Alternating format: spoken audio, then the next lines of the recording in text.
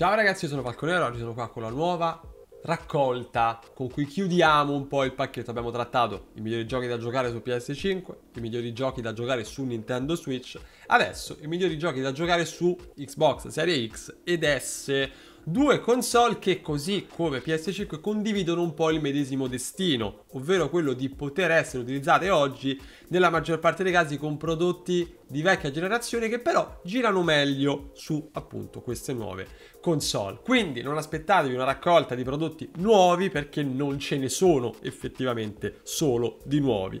Quindi partirei subito con quello che effettivamente nuovo è, ovvero The Medium è un titolo, non è un capolavoro, intendiamoci, però, come ampiamente dimostrato, è un... Non è un è un'avventura grafica di stampo horror capace di offrire diversi spunti interessanti. Su Xbox Serie X mi ha divertito, mi ha appassionato, eh, ha avuto i suoi limiti, ma comunque è un prodotto che merita attenzione perché rappresenta la maturazione di un team, Bloober Team, che con The Medium ha provato una strada nuova rispetto a quello che aveva fatto in passato. Titolo che merita assolutamente attenzione e che potrebbe avvicinare a un genere non più popolarissimo tanti giocatori che magari hanno scoperto il gaming da poco, che non ci si sono mai avvicinati a questo tipo di produzioni. Per cui è una bella storia, raccontata bene, ehm, grande impatto visivo, enigmi intriganti, una progressione insomma non banale, titolo consigliato per quanto non sia perfetto, come poi abbiamo anche detto all'epoca. Poi passiamo un po' a Ori and the Will of the Wisps, titolo per Xbox One riproposto su Serie X con un'ottimizzazione straordinaria che lo porta non solo a 4K ma a 120 fps. Quindi una fluidità incredibile, il gioco forse più fluido del panorama attuale in termini di platforming, ehm, titolo evocativo a dir poco, colonna sonora da Oscar, impatto visivo meraviglioso, non fatevelo scappare, sarebbe un delitto. Sebbene sia bello complicato, per cui preparatevi, nonostante questa cosa tutta un po' puccettosa, tutta carina, tirare qualche... Ah, insomma, eh, non, è, non è semplice per niente. Poi, State of Decay 2. Allora, State of Decay nella sua forma originale non è che fosse proprio il massimo del godimento, perché non era ottimizzato particolarmente bene, scatticchiava, caricamenti infiniti, su Serie X è un'altra roba. È veramente un'altra cosa. Prendete, è un po' il corrispettivo um, Xbox di Days Gone Days Gone su PlayStation 4 era a tratti molto difficile da apprezzare, su PlayStation 5 è rinato, stessa cosa, State of Decay 2. Titolo che su Xbox Series X ha caricamenti praticamente ridottissimi, una fluidità incredibile garantita dai 60 fps e il 4K, insomma un gioco che merita di essere riapprezzato sulla nuova console della casa. Poi, medesimo discorso lo facciamo per Halo The Master Chief Collection, anche questo ottimizzato in tutti i suoi capitoli che lo compongono a 60 frame al secondo e 4K e insomma un'impostazione che riduce tantissimo i tempi di attesa. Io ho riscoperto l'amore per Halo su Xbox Series X, me li sto un po' rigiochicchiando a tempo perso nei ritagli di tempo, ma è veramente il luogo in cui goderseli al meglio, perché su Serie X rinascono letteralmente rispetto alla versione eh, originale per Xbox One. Per cui dategli un'occhiata se vi siete persi stasera, ragazzi. Magari siete tra quelli che da poco hanno abbandonato Sony o Nintendo per passare a Serie X. Sappiate che con l'Halo The Master Chief Collection vi aspettano 150 ore facili di gioco, se non qualcosa in più. Per cui assolutamente straconsigliato.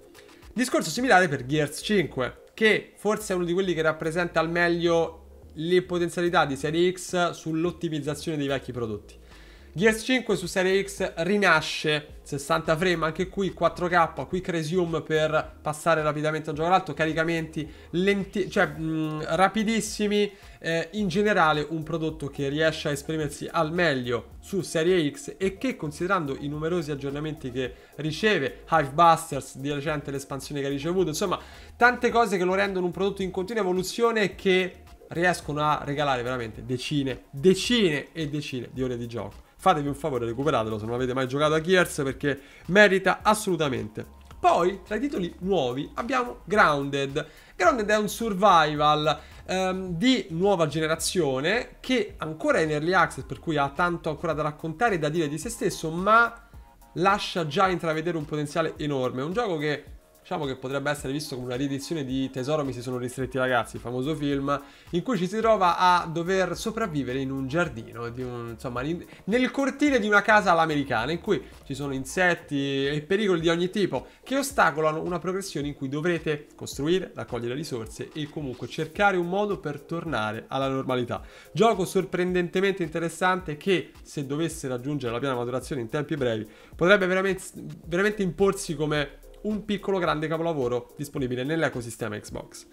Um, poi abbiamo Destiny. Allora, Destiny 2 su Xbox Series X, così come su PlayStation. Lì non ho parlato perché ho preferito mettere altri giochi, ma è un po' lo stesso discorso. Qui non abbiamo Borderlands oggi, ma è come se lo avessimo. Ecco. Ma Destiny 2 su Xbox Series X mi ha veramente impressionato. Mi ha impressionato perché eh, l'ottimizzazione a 60 frame e 4K lo porta a un livello veramente superiore, lo rende imprescindibile per chiunque ami gli spara tutto.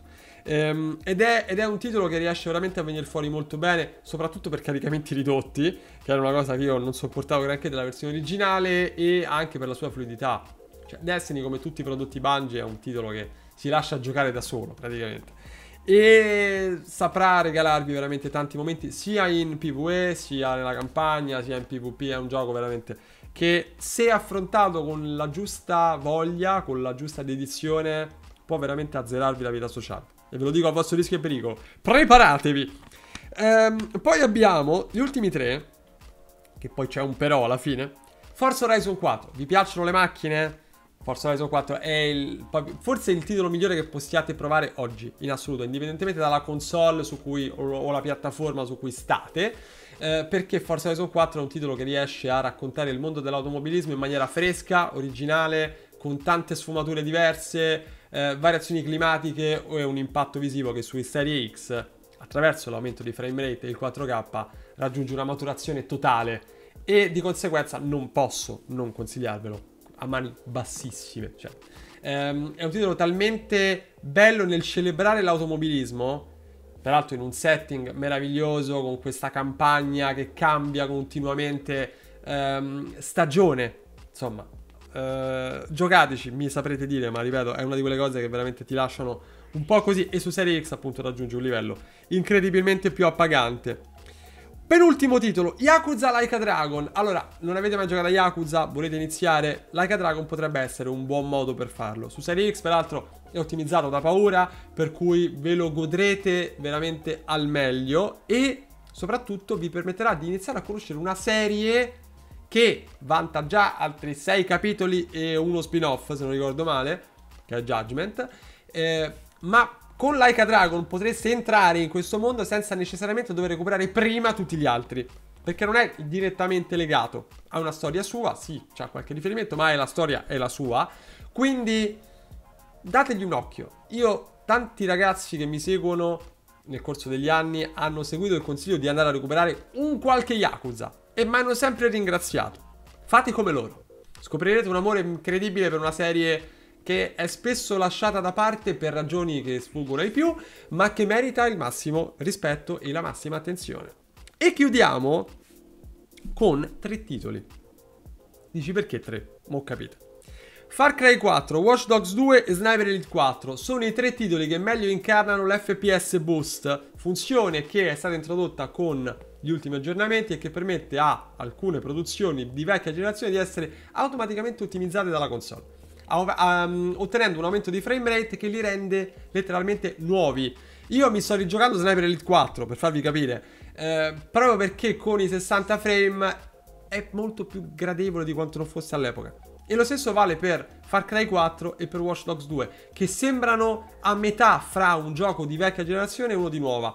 Per cui veramente potrebbe rappresentare questo FPS Boost una scusa per rigiocarsi o per giocarsi per la prima volta tanti prodotti di vecchia generazione che magari uno ha lasciato un po' da parte perché non era il momento giusto. Poi si sa, insomma, noi videogiocatori siamo strani. Andiamo un po' per per uh, periodi, per umore del momento, tante cose in un certo contesto non è il momento giusto, poi magari li recuperiamo anni dopo. Con l'FPS Boost questa scusa, credo l'avrete. Per cui diciamo che al decimo posto, più che un gioco, c'è una funzione, che è appunto questa che ottimizza i giochi di scorsa generazione. E speriamo venga estesa a quante più produzioni possibile, perché io avrei una certa voglia di rigiocarmi Dragon Age con i 60 frame. E adesso l'ho detto. Bene, ragazzi, io a questo punto direi che è tutto. Fatemi sapere voi cosa ne pensate. Quali sono i 10 giochi che consigliereste voi a un ragazzo, o una ragazza ovviamente, che oggi dovesse comprarsi un Xbox e non, insomma, venisse da voi a dire ma che, che c'è gioco? Ecco, proponetemi sto video magari oltre a darvi dei, dei consigli vostri. Per cui ragazzi fatemi sapere e noi ci vediamo alla prossima.